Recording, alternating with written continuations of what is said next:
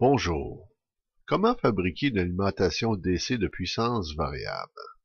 Et à peu de coût? Voici mes suggestions. Pour fabriquer une alimentation variable, on peut utiliser un variac ou en fabriquer un avec un thyristor pour créer un variac électronique. Voici les composantes requises. On aura besoin d'un thyristor IRKT 91, trait d'union 12A. Ce module à double SCR résiste à des tensions de 1200 volts AC à 95 ampères. On aura aussi besoin d'un gradateur standard pour lumière de 300 watts et plus, d'un condensateur céramique 0,5 à 1 nanofarad 500 volts un condensateur récupéré de micro-ondes de 0,95 microfarad à 2100 volts. Présentation du schéma de la première partie, le variac. Ici, on a l'ensemble du schéma. La, la, section variac et la section alimentation ACDC. On va zoomer sur la partie de gauche. Ici, on utilise un gradateur de lumière standard de 300 watts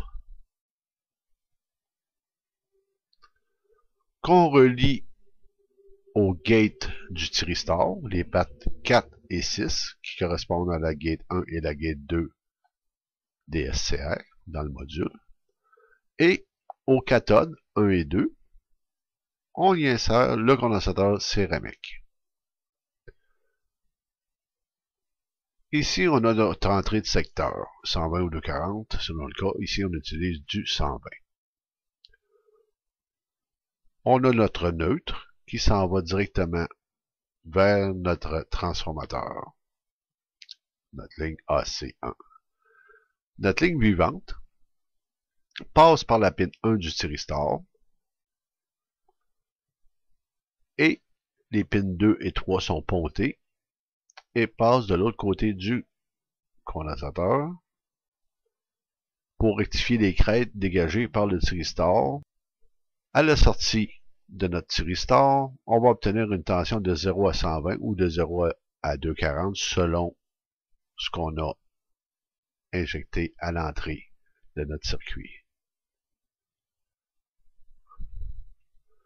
Dans la deuxième partie, la transformation AC-ADC, dans le schéma principal, on zoomer sur la partie de droite schéma d'alimentation ACDC, 80 watts à 20 ou 40 ampères selon le transformateur. On utilise le transformateur abaisseur de 240 à 120 volts AC, 20 ou 40 ampères, et on va alimenter notre transformateur sur la partie la plus élevée. On va utiliser le primaire à 240 volts et le secondaire à 120. Lorsqu'on alimente avec du 120 et une entrée primaire de 240 volts, on obtient la moitié du voltaire à la sortie, vu que c'est un transformateur 2 pour 1. Donc, si on alimente en 240, on obtient du 120. Si on alimente en 120, on obtient du 60 volts AC. À la sortie du 60 volts AC, une fois rectifié et filtré, on va obtenir une tension rectifiée et filtrée de 80 volts DC. Suggestion de transformateur abaisseur de 3000 à 5000 watts disponible. On peut avoir ça sur Internet là, pour 40-50 dollars. Euh, 5000 watts de préférence, ça va chauffer moins un peu. Euh, c'est des transformateurs euh, du 2 pour 1. 110 à 220 ou 240 euh, à 110, peu importe. Ou sinon, on peut utiliser aussi, comme je l'ai déjà fait, un transformateur de micro-ondes modifié au niveau du secondaire, comme j'ai utilisé ici. Moins puissant, mais ça fonctionne. Idéalement, utilisez du bon gros fil émaillé pour l'enroulement secondaire. Sinon, du fil électrique numéro 14, environ 24 pieds de long. L'enroulement donne autour de 1 volt par tour, produit entre 40 et 50 volts avec 24 à 25 pieds de fil. Pour rectifier cette tension AC en DC, on a besoin de diode. Ici, j'utilise un puissant pont de diode. Un, pont de 1600 volts à 100 ampères. Après la rectification de la tension AC en DC, on ajoute un filtrage pour aplanir les crêtes. Ici, j'utilise un ou deux condensateurs électrolytiques de 7300 microfarad à 150 volts. En résumé, ce qu'on fait, c'est qu'on convertit un des murs bien standards de 300 watts en des murs de 10 à 11 kW grâce au module Thyristor. Selon l'ajustement qu'on y donne, un peu comme l'intensité d'une lumière, ben, on y donne l'intensité de la tension qu'on veut à l'entrée du transformateur. Le transformateur, si c'est un 2 pour 1, s'il rentre 120 volts dedans, il va avoir une possibilité de sortie de 60 volts mais une fois rectifié et filtré, le 60 volts AC va devenir autour de 80 volts DC.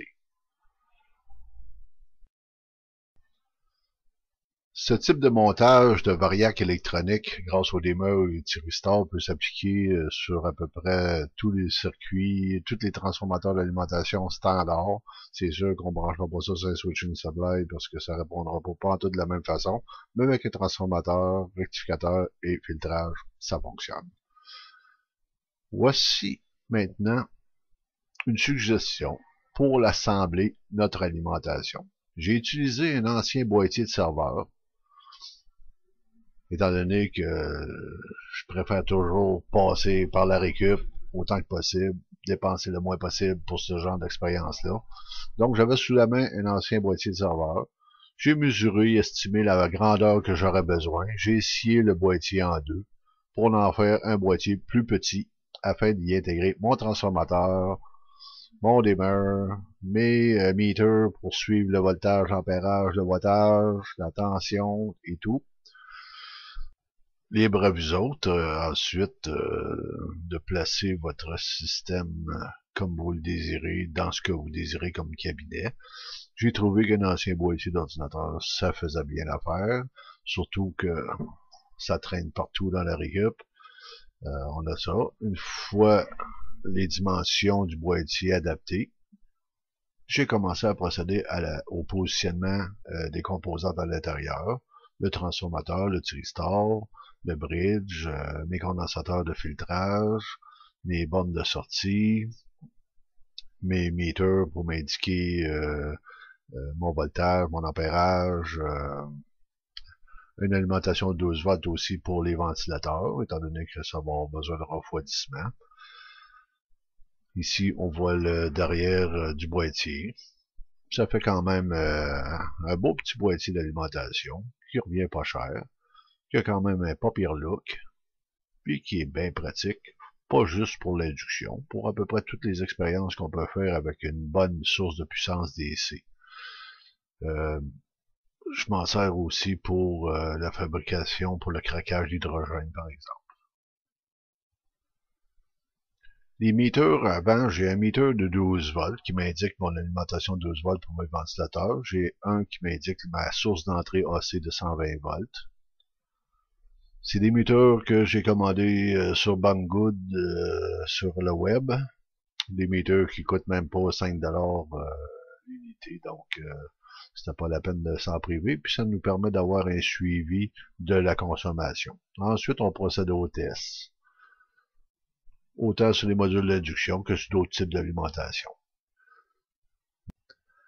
Le meter qui m'intéresse le plus euh, sur ce montage, c'est bien entendu le ham meter.